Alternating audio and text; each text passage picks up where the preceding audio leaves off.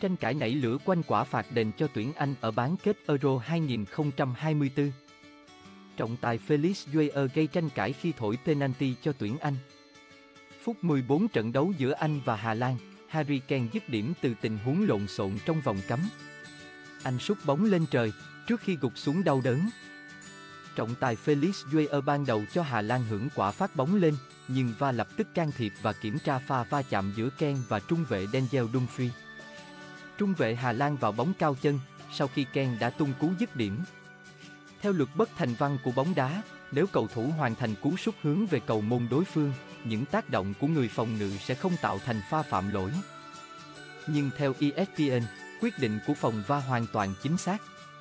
Denzel Dumfries không phạm lỗi khi va chạm với Ken. Anh mắc lỗi hành vi khi cố tình vào bóng thô bạo trong vòng cấm. Những va chạm kiểu như vậy có thể gây chấn thương cho các cầu thủ tấn công. Xem lại pha quay chậm, khán giả thấy rõ Dumfries đã kê chân Harry Kane từ trước khi tiền đạo anh sút bóng. Ống đồng Kane đập thẳng vào gầm giày Dumfries là hệ quả của hành vi xấu chơi của trung vệ Hà Lan. Ông Felix Gueye chỉ kiểm tra hai góc máy tại màn hình va, rồi thổi phạt đền cho anh. Trọng tài va là ông Baxen Dankert, người điều khiển chính trận đấu trong phòng va tại Euro 2024. Nhiều nhất cả giải. Ông là trọng tài uy tín nhất tại Euro năm nay. Vai trò của ông Baxen Dankert là xem lại băng hình, đưa ra quyết định hộ trọng tài trên sân do tình huống khá nhạy cảm. Ông gọi trọng tài Gueye ra màn hình bên đường biên để tham vấn.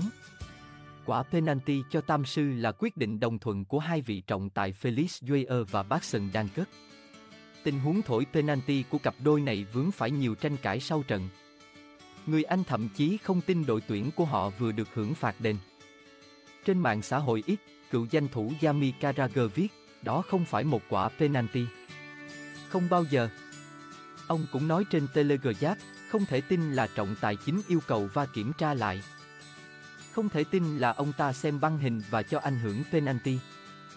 Nếu thắng trận này, chúng ta sẽ phải cảm ơn thần may mắn. Chuyên gia phân tích trọng tài của ITV, Kritina Unkel, tỏ ra sốc trước quyết định của ông Felix Gueye. Tôi hiểu là gầm giày của Dumfries đã đập vào ống đồng Ken. Hoàn toàn đúng. Nhưng rõ ràng Ken đã hoàn thành cú sút trước khi pha va chạm xảy ra. Theo tôi, đây không thể là quả penalty. Trái với Carragher, cựu danh thủ Anh Lee Dixon mừng rỡ với phán quyết của trọng tài, từ góc nhìn của một hậu vệ, tôi không nghĩ đây là quả penalty. Nhưng tôi không quan tâm.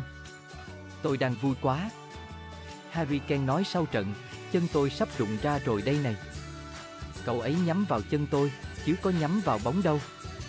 Harry Kane không mắc sai lầm nào trên chấm 11m, gỡ hòa 1, 1 cho Tam Sư. Oli Watkins là người dứt điểm trận đấu bằng cú sút chéo góc về cuối trận. Thắng lợi 2, một giúp thầy trò huấn luyện viên Southgate giành vé vào chung kết Euro, năm thứ hai liên tiếp. Đối thủ của họ lần này là Tây Ban Nha. Cuộc chạm trán giữa Tam Sư và Cùng Phong Đỏ diễn ra lúc 2 giờ ngày 15 tháng 7 giờ Việt Nam trên sân Olympic Berlin.